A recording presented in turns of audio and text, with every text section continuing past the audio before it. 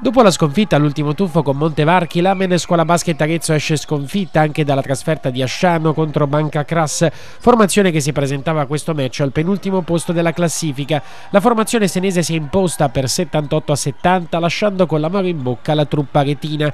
A cinque giornate dal termine del girone di ritorno, l'Amenesba si trova al terzo posto alle spalle dell'Audax Carrara che ha battuto 74 a 59 il Villa Basket, mentre scappa la capolista Labronica Livorno avendo avuto la meglio nettamente sull'Oti Galli.